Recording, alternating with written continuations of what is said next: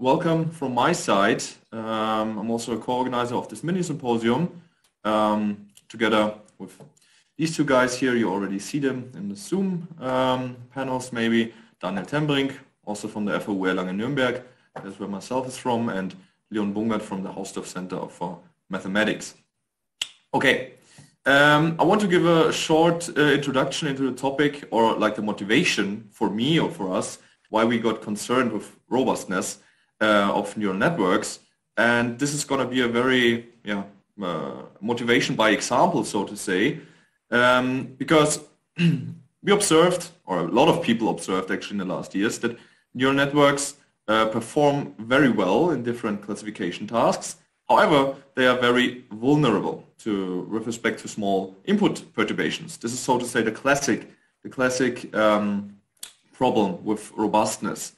And um, we, yeah, in preparation of this talk, I explored this a little bit.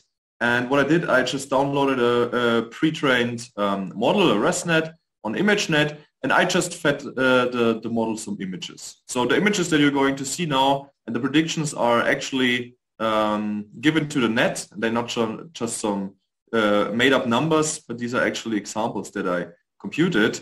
And it's pretty funny actually. So what I started with is, I mean, I have here a prediction of a, of a soccer ball. And this, this class is indeed in the ImageNet this, uh, data distribution. So he can classify it and he does so. And then what I can do, I can compute a certain additive perturbation and it destroys the uh, prediction completely. As you can see, the, the soccer ball is not now in the top three um, yeah, classifications here. This is the simplest example here and showcases, okay, we can destroy the performance of neural networks with these perturbations. Um, the, the main part to note here is that the picture on the right is visually, uh, from the visual side, indistinguishable, indistinguishable for the human eye, right? It looks the same because the perturbation is very small. It also has a very small L2 norm. Okay, this was a one part. One can even do this by rotations, as I found out. I just rotated the picture a little bit, and I can uh, achieve the same effect, uh, completely destroying the the uh, performance here, getting something completely different, even with a higher um, confidence. This is also a problem. Uh, these were untargeted attacks, so I just wanted to yeah, destroy the performance. I can even do targeted attacks, so to say, perturb the image in a certain way that it uh, says something else. Here I wanted the image to classify this ball as a sombrero. That's why I added certain noise and um, it actually gets very confident if we compare it with the image before where he wasn't so sure if it's really a soccer ball. Now the, the output is very sure that it's a, soccer ball. So this is, has two problems. First of all, the classification is wrong and it is overconfident. Um, another point here, um, these were the classical adversarial examples. Another point with overconfidence is uh, performance on out of distribution data. So I took a face, uh, uh, image of my face here and the ImageNet uh, dataset doesn't have a dedicated human or face class. Um, and you can see the predictions on the on the left side don't really make sense, but they are maybe also not as low as you want them to be. But even here, I can do a adversarial perturbation, and I'm now doing it in the L infinity norm, which is even stronger. Because if you do it in the L infinity norm, you can really fool the net to 100% um, be sure that I'm a tabby cat. And um, yeah, this is a targeted attack and it's actually a 100% and the network is super sure that the picture on the right depicts a, a tabby cat. Um, I mean, then you can have a little bit of fun with this. You can also just um, take smaller areas. This is known as adversarial stickers, which I computed here on the on the uh, yeah right side, and there it also works. And you can even have some more fun. You can explicitly describe the shape um, of the of the perturbation. And what I did here, I took the sunglasses of the adversarial perturbation and then got this adversarial example uh, with sunglasses on. And there here again is very sure that I'm a tabby cat. I mean, these are fun examples and I had a lot of fun playing around with them. But actually, if you think about it, it's this is kind of the big problem for neural network performance. Um, these and, and similar uh, yeah, observations led to an yeah, really extreme increase in the interest. This is um, what I did here. I went to Web of Science and typed in the keyword adversarial robustness. And these are the number of papers per year that have this keyword. And we see the, the interest is increasing exponentially. And the thing is that not only these adversarial examples are of interest for robustness, um, this is also what we will see within this mini symposium, that there are other parts to robustness. We have, of course, these adversarial examples. We have overconfidence, which I talked about, but we also have instabilities in semi-supervised learning. We're going to hear something about adversarial networks, which is a little bit different than, I mean, it's, it's not the same as adversarial robustness, but it has similar parts to it.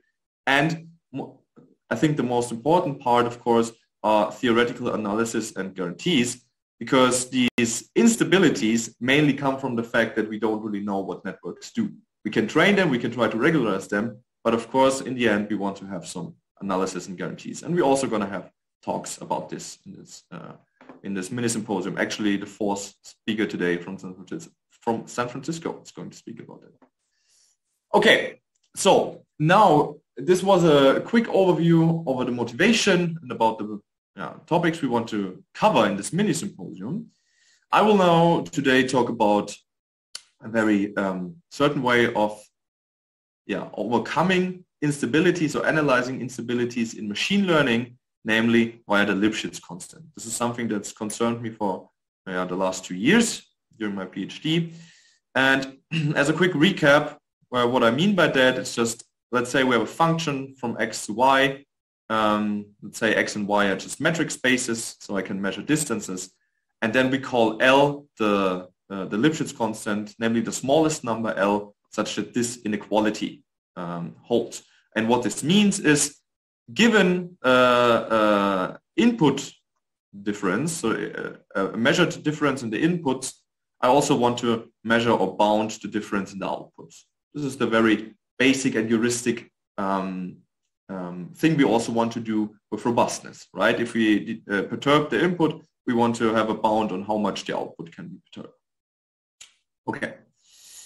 I'm going to focus on two parts today, namely semi-supervised and supervised machine learning. So not only on neural networks, but also on the semi-supervised uh, learning task. Here, a quick recap on what I mean by this, by this uh, terminology. Unsupervised is depicted on the left here. By this picture, I have some I have some data and I basically want to cluster it.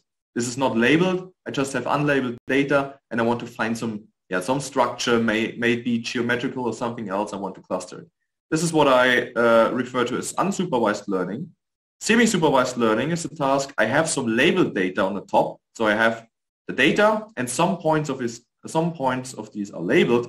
And then I want to extend this labeling to the whole uh, data set. This is semi-supervised learning for me. And then supervised is I've given data here in, in blue and green as a data set, and then I want to learn a function on the whole underlying space. This would be the neural network. Let's start with the semi-supervised learning task, namely Lipschitz learning. What is the, what is the setting? We've given a data set, omega n, uh, remember the picture that we just had, and the labeling function g. These were like, yeah, the these are the gray nodes and these were the nodes with color uh, with the labeling function g which should be a subset of this omega n um, right and and the goal now is to learn this extension I mean this is what uh, what you can see from the picture there and what you typically do here is kind of the idea is to have the smoothness assumption which says that points that are close to each other in a certain measure, for example, spatially, should be more likely to share a label. And what I've been working uh, with a lot lately are weighted graphs then. So I model this data as a weighted graph, it's omega n, and uh, then I have to yeah, determine some edge weights between these, between these points. And this is then the, the measurement which, uh, says me how, uh, which tells me how uh, close two points are together. This is the setting of a graph. Here's also a picture so omega n is like the whole set. Then we have nodes that are connected to each other and the red ones are like the labeled ones, the labeling functions. Okay. Where does uh, instability or robustness come into play here? Um, the driving question is what happens if the um, data or the amount of data goes to infinity, this omega n. So I get I increasingly uh, denser approximation of the underlying set. Um, and even if the labeling uh, set goes to infinity. These are the main questions uh, which I was concerned with and were also the instabilities in semi-supervised learning arise. What you typically, typically do, or what is very classic learning task here is P-Laplacian learning. That is, I have the following uh, P-Laplace graph energy, as you can see here, as you can see here, depicted here. Um, we have the weighting function here to the power of p, and then we have we measure the differences of the labeling. And this is exactly the part where inherently the smoothness assumption goes in. Because if we want to minimize this energy, we want to minimize um, differences between labels that are close to each other. So if this weight um, here is important. Right. This is P-Laplacian learning. This is a very um, yeah, well-known task. And concerning the limit that I've, I've been talking about, there are um, continuum limit results which show via gamma convergence that it actually um, yeah, converges to this limit problem, which you can refer to as P-Laplacian, P-Laplacian learning, which is also connected to the P-Laplacian in the, in the uh, limit case. Exactly. What is the problem here? Where do instabilities, instabilities come now? Well, um, I stated it down here. For these results to hold, you have a, a dimension constraint. Namely, you need your P to be bigger than D and strictly bigger. We can see this in a very simple example. So this is a 2D example where a point cloud is labeled with two points. And if you do two Laplacian learning, so just a regular Laplacian there, you get a constant function everywhere, which just spikes at the points that's given. This is the so-called spiking phenomena. And uh, this is an instability. And this is exactly the point where the dimension constraint um, yeah, is not fulfilled. I mean, the dimension constraint also, if you're familiar with it, um, is inherently due to um, embedding results in Sobolev spaces. There you also have this, and this is also what appears here. But also in reality, in praxis, we can see that this extension, this is uh, this um, extension that we learn here, is probably not the one that we want to learn. So what is the solution? It's Lipschitz learning. Namely, what we do, we send the parameter p to infinity. That's that's the uh, that's the solution, right? Um, I mean, if we don't want to care if we don't want to care about this dimensionality constraint, we just send p to infinity. And this yields two problems, namely, on the one hand, graph infinity Laplacian learning, where on the left-hand side I stated the graph infinity Laplacian, or graph Lipschitz learning. Um, the thing is here, you can derive two limit problems here, where the one on the left has a unique solution, while, uh, while the uh, one on the right does not emit unique solutions. However, every, uh, every solution from the left one, or the unique solution from the left one, um, is also a um, solution of the problem on the right. Yeah? The solutions of the left problem are also referred to as absolutely minimizing Lipschitz extensions, which you have may heard of before. And um, these are the two problems that we're going to look at now in the following. But first of all, before we do that, let's look at the actual result. Remember the picture on the left. If we do the same with the Lipschitz learning task, one or the other, we uh, arrive at this picture um, at the right. And this looks much more like what we want, right? We have kind of a smooth, it's not an interpolation, but we have a smooth um, yeah, uh, transition here from the one uh, uh, label to the other. This is kind of what you expect here and not the thing on the right. Okay. Now concerning consistency results, this is the actually thing that we want to have here. Uh, the one we have, um, yeah, the one on the left for the graph infinity Laplacian learning is something that has been uh, there already before. Um, this is number one. This then converges to something connected to the infinity Laplacian in the limit case. And the thing on the right, which I and my colleague Leon Bungert was more concerned with, then converges to a uh, energy minimization, uh, energy minimizing problem in the limit, um, which also does not admit unique solutions. And as I said, the first problem, there were already some um, convergence result under stronger assumptions. Um, the main point here, what the strong, strong assumption is, is that uh, these frameworks only allow uh, to work with very dense graphs. So highly connected graph, which you wouldn't work with in practice. In practice, you usually work with very uh, sparse graphs, only sparsely connected. So the results in, in one may not be uh, optimal for actually um, using them in practice. And that's what we try to address in our work in, in two here, because um, we could deal with very sparse graph and very low connectivity. And um, yeah, let's just a, a, a, quick recap of the situation here. What we do is um, we choose the weights, the, the, the weights, the edge weights here via such a kernel function. This means we measure the Euclidean distance here, and then on the outside we have a, uh, maybe you can see it here, a kernel function eta, and it, then it's scaled by some graph bandwidth. So this scales how much of the points um, in a, a, certain radius we actually want to consider. This is the classical setup that you have in graph learning and um, typical kernel functions are depicted here on the right, maybe a Gaussian kernel or like a like a indicator function. Uh, our assumption on the kernel are very general. We basically just need that uh, it has uh, compact support, it's not increasing, and this um, th uh, this uh, restriction here on the essential supremum of t times eta. Okay, and then uh, I'm not going to spend too much time here, but the but the important um, ingredient that you always have to do is that you have to bound the Hausdorff distance between the your um, labeling set and the limit set, and also for the for the constraint set. Uh, this is what we refer to as delta n. And what we were then able to show here in the next slide, as you can see, was actually in another project um, with different techniques, uh, we were able to show convergence rates. So first of all, we were able to show convergence at even smaller uh, or at even for even sparser graphs, and we were uh, even able to show convergence rates for the um, for the uh, graph infinity Laplacian as depicted here.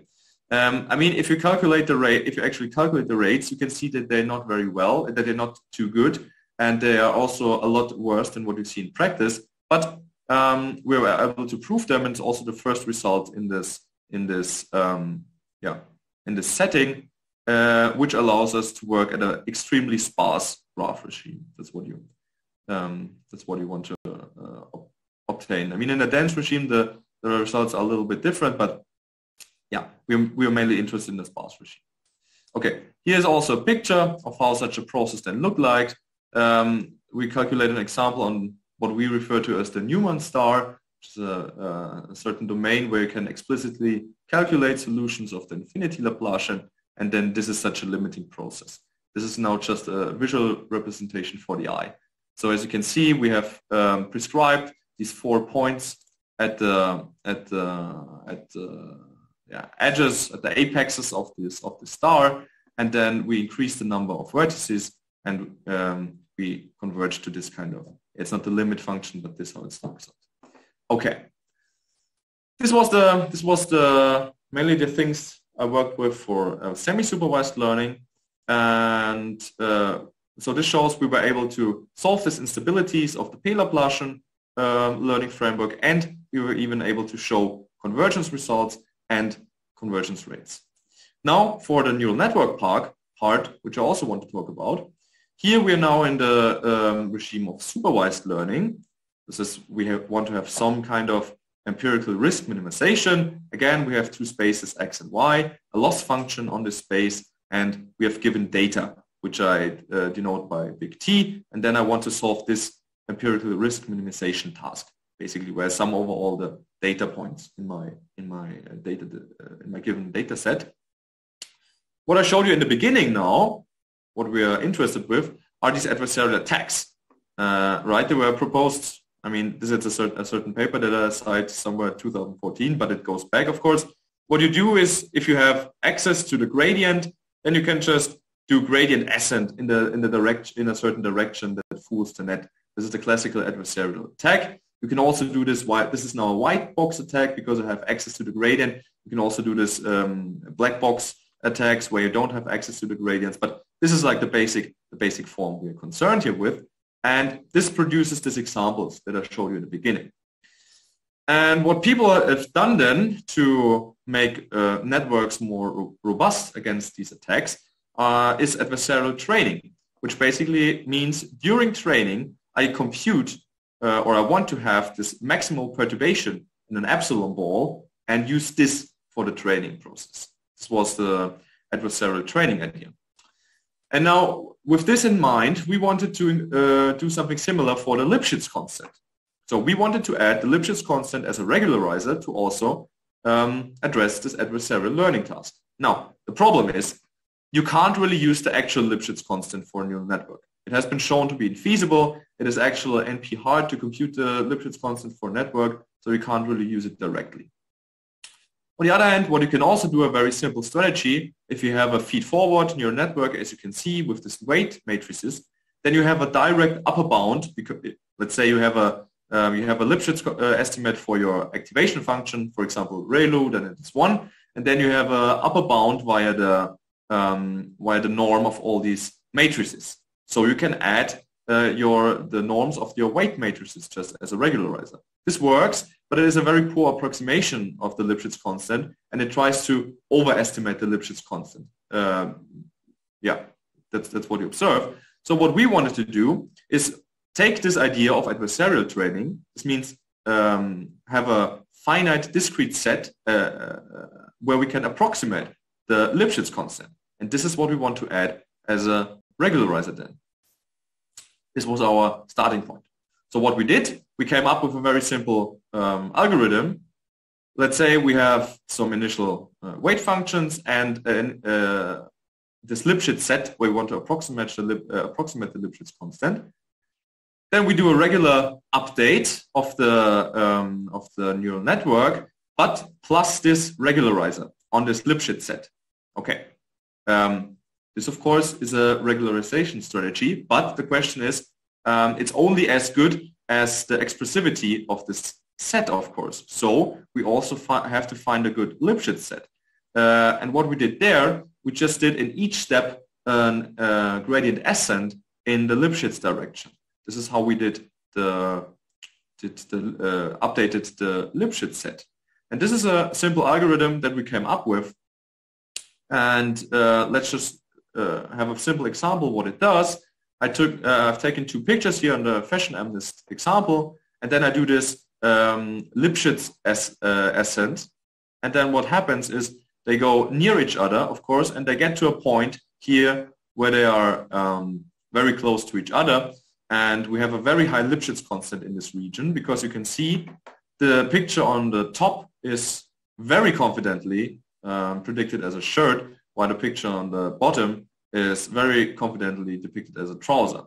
And while of course both of these pictures are not actually in data, so they both have should have low, uh, low confidence. Okay.